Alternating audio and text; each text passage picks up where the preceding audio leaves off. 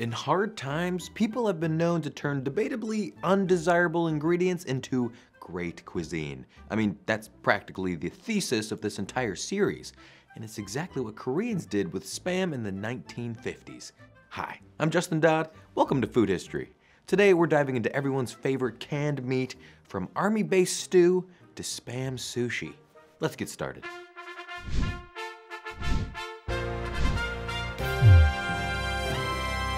Food shortages plagued Korea in the aftermath of World War II and during the Korean War, and fresh meat was often impossible to find. One of the most reliable ways to get something to eat was to line up outside US Army bases and purchase their leftovers or salvage them from dumpsters.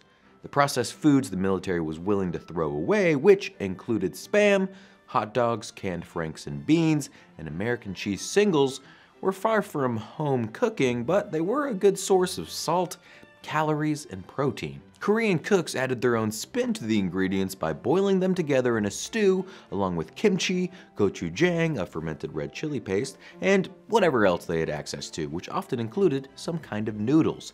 The resulting recipe was distinctly Korean despite its undeniably American DNA. Budae jjigae, or army base stew, was basically an underground dish in the country until the 1980s, with many people sourcing ingredients on the black market. Despite this, Korea, like many other countries and territories occupied by the US throughout the 20th century, hasn't been able to overcome its spam obsession. So how exactly did spam go from thrifty convenience meat to one of America's most successful culinary exports? Before we find out, let's take a look at its humble beginnings in the Midwest. Hormel was already a household name by the time Spam arrived on the scene. Former slaughterhouse worker George A. Hormel founded the meat processing company in Austin, Minnesota in 1891. Following years of success selling fresh pork products, the business debuted its flavor sealed ham in 1926. It was a game changer. The product was made by packing ham into vacuum sealed containers and cooking the meat in the can, thus keeping it fresh and flavorful until it was ready to consume. It was deboned, but unlike Spam, it was a whole piece of recognizable meat. In a can. Boy, innovation is something, huh? Its introduction coincided with the start of a quiet revolution taking place in American kitchens. Technological innovations like the refrigerator saved women time that they otherwise would have spent shopping for fresh groceries and preserving them through laborious methods like curing and pickling. In addition to new appliances, new types of food lightened the domestic load placed on homemakers. Canned ham lasted months in the pantry and was ready to eat as soon as it was opened. Even if home cooks gussied it up with pineapples or sugar, it was still less time consuming than picking up a fresh ham from the butcher and cooking it whole. Jay Hormel became president of his dad's company in the late 1920s, and he had some big ideas for the brand, one of which was turning the waste leftover from butchering pork into a brand new type of food. Though it's a desirable and delicious cut of meat today, pig shoulder was widely considered garbage food at that time in America. Hormel was discarding mountains of the scraps each year, so Jay devised the plan to turn them into something consumers would want to eat. The processors at Hormel did this by removing the meat from the bone, grinding it into a paste, and adding flavorings and preservatives. The mixture was then vacuum sealed and cooked in its container, just like canned ham. It may have a dubious reputation today, but in the beginning, Spam contained just five ingredients pork, water, salt, sugar, and sodium nitrate. The recipe for Spam remained the same until fairly recently when Hormel added potato starch to the mix. The new ingredient doesn't change the flavor and is instead meant to soak up the layer of gelatin that forms when Spam is cooked, giving it a more appetizing appearance. If any customers miss the slimier formula they grew up with, they haven't been very vocal. But I'll say it, bring back the goo. Spam was packaged like flavor sealed ham and had a similarly long shelf life, but it wasn't canned ham exactly. Hormel needed a name for the item that would convey its culinary promise without making any false claims. So, like any sensible businessman, Jay Hormel enlisted his drunk friends. According to Life magazine, he hosted a New Year's Eve party in which the price of each drink was a possible name for the new product, written on a slip of paper. He offered a $100 prize to whoever could come up with the winning name. As Hormel recalled, along about the third or fourth drink, they began showing some imagination. An actor named Ken Daigneau received the $100 prize for his short and sweet moniker. Ken was the brother of R.H. Daigneau, a Hormel Foods vice president. So, we know where the name spam comes from, but the jury's still out on what it means. Many theories have been floated over the decades, with some saying it's short for shoulder of pork and ham. Others offer a less pleasant option, scientifically processed animal matter. The most common belief is that spam is a portmanteau of spiced and ham, despite the fact that the product is neither spice nor a ham. Hormel hasn't confirmed any of the rumors and instead claims that the true meaning is known by only a small circle of former Hormel Foods executives. I want to believe that the name has some cool, secret meaning that I have to uncover like a Dan Brown novel, but I'm also willing to entertain the theory that spam was just fun to say four cocktails into a New Year's party. Hormel's creation was not the first time someone had molded pork scraps into a block of mystery meat. For centuries, Pennsylvanians have stretched the definition of meat with scrapple, an economical breakfast item consisting of pork trimmings, cornmeal, and spices mushed into a congealed loaf. Spam was similar, but its packaging made it unique. Like canned ham, a shelf-stable can of Spam was a desirable option for busy home cooks. Hormel marketed the product's versatility. It could be sliced, diced, baked, fried, or eaten cold out of the container.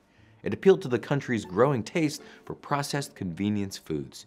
By 1940, 70% of urban Americans were purchasing canned meats, up from only 18% in 1937. Spam may have been catching on in American households, but the military is where it really took off.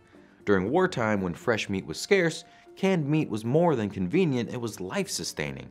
In addition to being filling, tasty, and high in protein, Spam was easy to transport. It didn't need to be refrigerated or heated up. And most importantly, it was cheap. When President Franklin Roosevelt signed the Lend-Lease Act in 1941, authorizing the US to ship food and other goods to allies during World War II, Hormel began shipping 15 million cans of meat overseas per week, most of which was Spam. The canned meat was certainly on the minds of American service members, some of whom were sick of being given this stuff for breakfast, lunch, and dinner. Private First Class Louis B. Closser got so fed up with the monotonous diet that he wrote a letter to Hormel asking them to not send any spam overseas for a few weeks, even if that meant he and his fellow servicemen would go hungry. That's where the story, outlined in the 1944 issue of Yank, the Army Weekly, takes a turn. Hormel wrote back to Closser claiming that, since the war started, we have not sold a single can of spam to the US Army. The letter said that the standard 12 ounce cans of Spam weren't practical for Army use and claimed that soldiers were eating a different luncheon meat that GIs were incorrectly calling Spam. Can closed? Not exactly. According to the book Spam, a Biography by Carolyn Wyman, Hormel's letter kicked off a firestorm from Army cooks and soldiers swearing they had prepared and eaten the real stuff. It culminated with the picture of a GI standing behind a line of genuine Spam tins. Wyman says that Hormel looked again and determined that in 1942, the Army had ordered a bunch of Spam as a substitute for government luncheon meat. Plus, with all the Spam being sent overseas as part of Lend-Lease, it's possible that some got diverted into US Army hands. Either way, wherever the US military went in the mid-20th century, Spam seemed to follow that had an unintended impact on the global culinary scene. During World War II, Spam, or some other canned product people were calling Spam at least, was just as popular with GIs stationed in Hawaii as it was in Europe. Locals began incorporating it into their cuisine, though it was more out of necessity than love for the salty meat slabs. In 1940, a federal statute was passed preventing owners of large fishing boats from obtaining licenses if they were not US citizens, at the same time, there were laws preventing Japanese immigrants from obtaining US citizenship. A year later, non-citizens were banned from using various fishing nets within one mile of Hawaii's shoreline. Together, these laws not only hurt Japanese Hawaiian fishermen, but other Hawaiians who relied on their fishing businesses for food and jobs.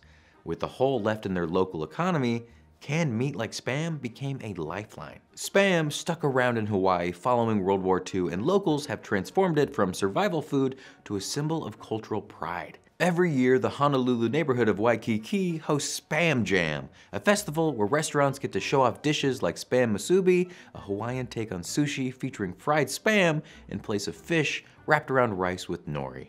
Take it from me, it's delicious. The people of Hawaii consume more than 7 million cans of Spam per year, more per capita than any other US state. Spam has found similar success in countries throughout Asia and Polynesia. The US brought the product to the Philippines during their colonization of the islands. Today, Spam Silog, consisting of fried spam served with eggs and garlic fried rice, is a popular Filipino breakfast. Budae jjigae may be the most popular application for Spam outside of America, but it was nearly no more than a blip in Korea's culinary history. During Park Chung-hee's rule from 1961 to 1979, South Korea imposed very high meat tariffs, which basically restricted spam to the wealthiest of society.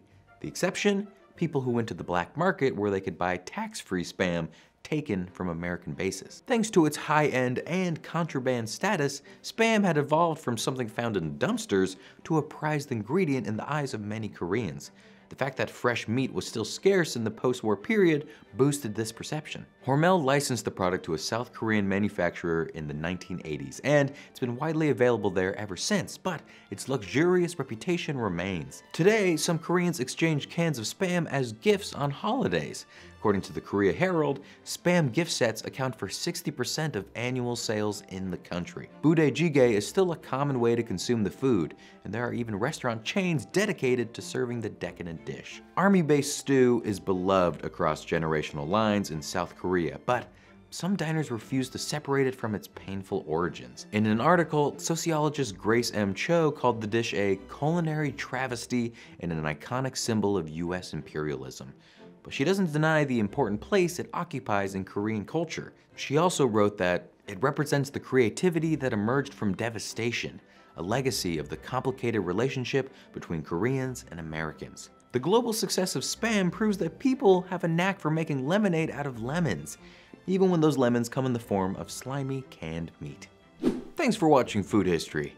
What is your favorite spam dish? Let us know in the comments. And special shout out to my local dive bar, Swell Dive, for serving fried spam tacos that keep me going at 1 a.m. Don't forget to subscribe, and I'll see you next time.